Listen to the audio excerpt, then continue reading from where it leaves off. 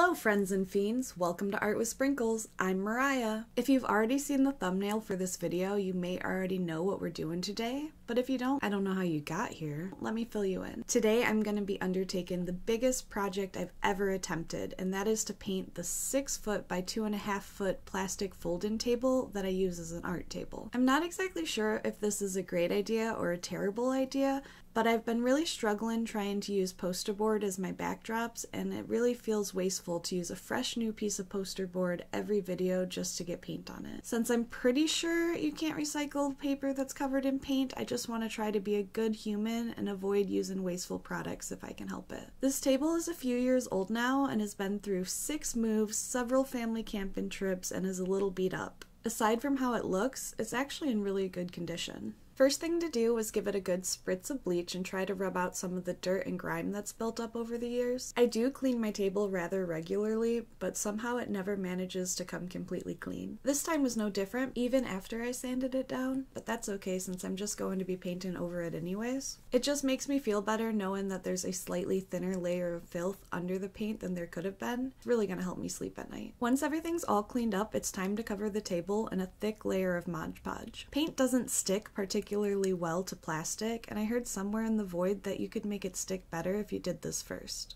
Is it actually helpful? Who knows, but we're doing it. Since I'm going to be working on top of this, I'll do just about anything to make it stick. Also, you may be wondering why it is that I've chosen to show myself doing these processes to only one side of the table, and that's because when I started this, that's all I planned on doing. Then my best friend Dixie came over seeing it as a fully half painted table and convinced me to paint both sides. I realized she was right. Whoa, whoa, whoa, why on earth would you paint only one half of a table?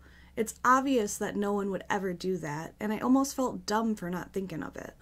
So, big thank you to my friend Dixie, whose brilliance helped me make this a better project. As you can see now, I'm covering the table in black paint, which I poured directly from the bottle.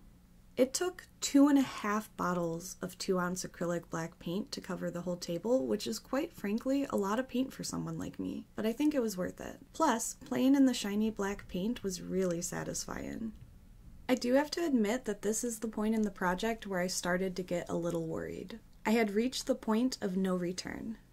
If it doesn't turn out well, I'm stuck with it. It's not like I'm going to go out and get another table.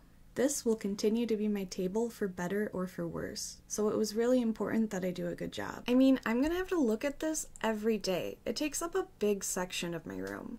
Problem is, I have very little painting experience, and even less so in this more landscapey style that I was going for. There is no cel shading or flat bold colors here, which is how I like to draw, so I was really stepping out of my comfort zone. Still, I was passionate about the idea of having a permanent, unique to me backdrop for my videos that I persevered. I wanted to paint a galaxy because it goes well with some of the decor in my art room, but it just sort of ends up looking more like a starry, cloudy night than actual space. Even though I'm not the best painter, I'm really glad that I tried this. It was a lot of fun to try a new style of art even amidst all the panic. That's our word of the day, amidst.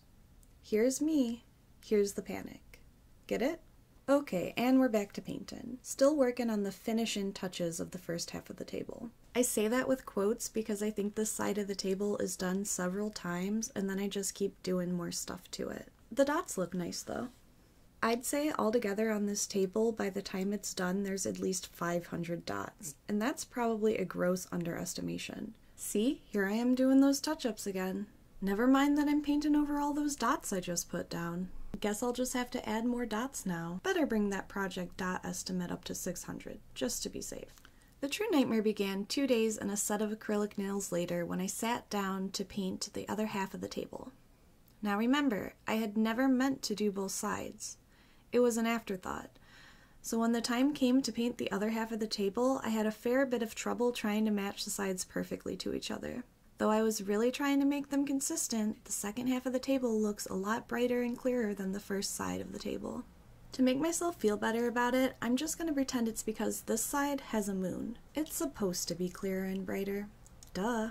Let's just add a few hundred more dots here, and we should be good on painting, at least for the parts I filmed. This project took two and a half days of painting, touch-ups, drying, and Mod Podge. I didn't film it all because I don't have space on my computer for 20 hours of video. Speaking of Mod Podge, let me just dump some more of that on here. just enough to completely mask the table's true identity. Using Mod Podge like this looks pretty scary. It goes on super thick and white.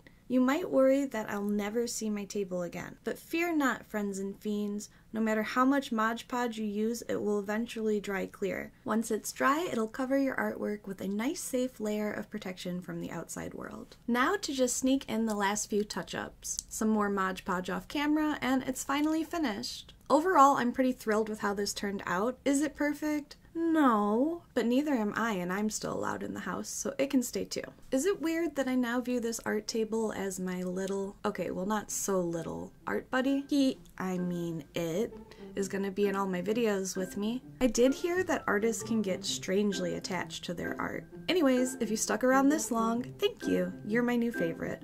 Leave me a comment down below so I know who you are, and follow the channel for more artsy videos like this. Thanks for watching. Bye!